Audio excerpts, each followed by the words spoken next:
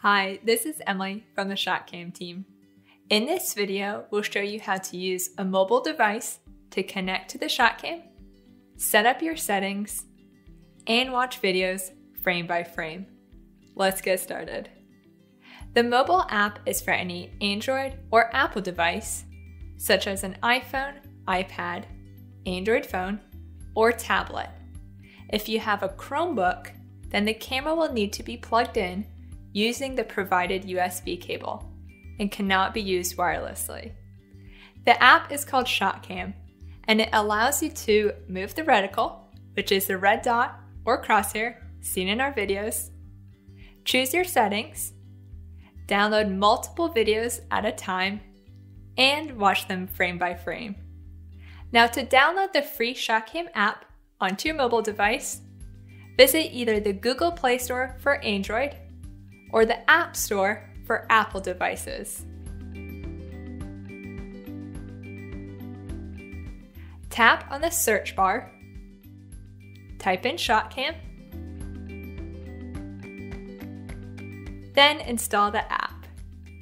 Once the app has finished installing, you will see the icon appear next to the other apps on your device. The ShotKam app will only open once connected to the camera's Wi-Fi. So now we'll turn the camera into Wi-Fi mode. Start with the ShotKam off, then hold the power button down for 5 seconds. Release, then both LEDs will light up yellow. A few seconds later, one will turn green. It is now sending out its own source of Wi-Fi. So you'll connect to the ShotKam Wi-Fi like you would connect to an office or Starbucks Wi-Fi. Now back onto your mobile device, open the Settings app, tap on Wi-Fi, then select the ShotKam network. Once you see the check mark next to the ShotKam, it's connected. Please note that some mobile devices say unsecure network because it's not password protected, but only people within 10 feet of the ShotKam can connect to its Wi Fi. Now close the settings and tap on the ShotKam app. You will now see a live view from the camera.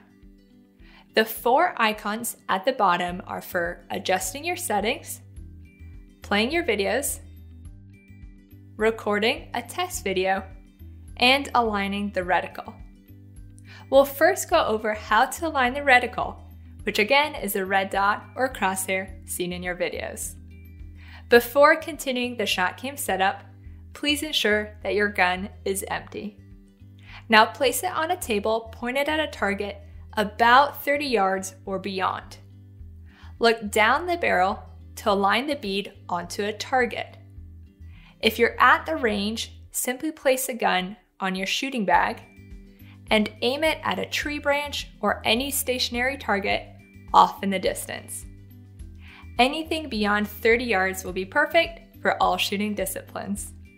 Once the gun is stable and the bead is on a target, go to your mobile device to start adjusting the camera's reticle. The purpose of this is to ensure that the reticle in your videos exactly reflects where your barrel was aimed. It may only need adjusted a few inches up or down or to either side. To move the reticle, hold down the blue arrow for 2 to 3 seconds, then release it. Please allow for a slight Wi-Fi delay. Once it's centered on your target, press save. Now to change the camera settings, tap on the gear icon. From here, you can change your gun type. If, for example, you're going from a break action to a semi-auto, choose your target type, which would be the clay targets, flying birds, or ground game, such as turkey or deer. You can also change the recording length and speed, but we recommend leaving all these settings as normal with the factory defaults. Now to play a video, we'll do a short test recording to walk you through the steps. Begin by tapping on the record icon to start a recording and again to stop the recording. Next, press the play icon and a dated folder will now appear. Open the dated folder Then you'll be able to select up to four videos at a time. Press the download icon, then a pop up will appear. The top option is to quickly watch the video within the app. Then the second option will also save a copy onto your mobile device. This option allows you to watch the video outside of the ShotKam app and without being connected to the camera's Wi Fi. The video will be saved in your Photos or Gallery app.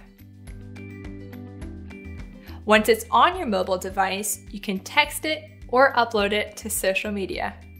The video file will be too big to email because an email attachment must be under 20 megabytes. But you can either text it or share it using AirDrop, Dropbox, or YouTube. The ShotKam holds up to 2,000 videos on its internal memory card. But when you're ready to delete the videos, either delete them within the mobile app or with your computer. We hope that this has been helpful, and if you have any questions at all, please send us a message on the Contact Us page, send us an email, or give us a call. Thanks for watching.